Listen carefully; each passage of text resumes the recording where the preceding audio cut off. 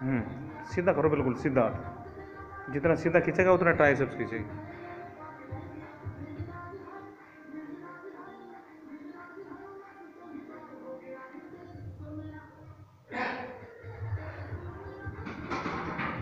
Help ले सकता है दूसरा हाथ से हल्की हल्की हाँ हल्की हल्की ले सकना, लगे जब।